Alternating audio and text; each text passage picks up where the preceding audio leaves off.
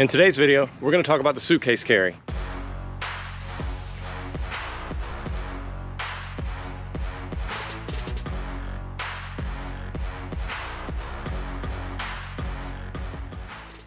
Okay, the suitcase carry is when you take a weight such as a kettlebell or a dumbbell and carry it in one of your hands.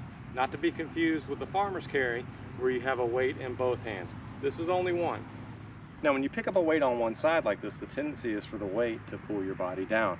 So what you need is your obliques, your glute med, and even your back extensors to trim that weight back out to straighten your posture. As you can see here, the posture is straight and the uninvolved arm is in a neutral position. Now what you don't want is to lean over or hold that arm out to trim the weight. That's cheating. Don't do that. This exercise is a favorite of mine for one reason. It's highly functional. Anybody can picture a circumstance where they're at Home Depot and picking up a gallon of paint or even carrying your groceries inside. This makes you stronger at doing the things you actually want to do. If you found this video useful, subscribe to our channel because more content's on the way.